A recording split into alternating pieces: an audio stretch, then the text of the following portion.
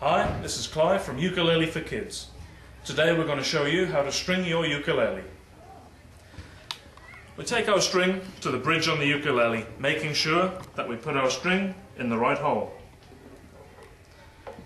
We pull it through about 8 to 10 centimeters. We then take the end of the string, we go under,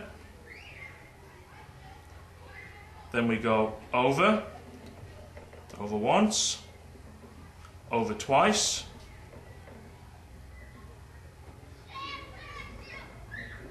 put our thumb at the base of the bridge, and then pull the string tight. This locks the string onto the bridge. We now go up to the tuning pegs.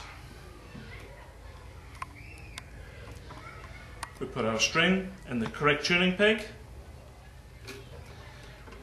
We leave a little bit of slack on the string for tightening around the peg. We then put the string through the peg twice and we pull it tight. Now we don't have a machine to turn the tuning peg so we have to do everything by hand.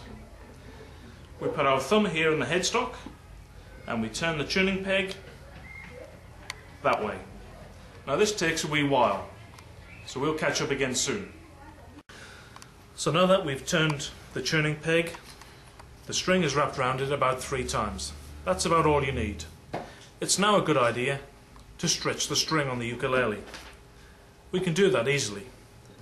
We stick a couple of fingers underneath and we stretch it up a few centimeters.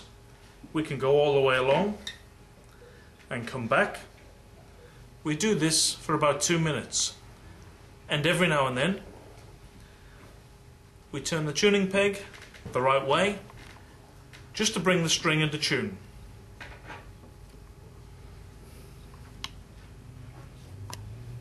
That's how you string your ukulele.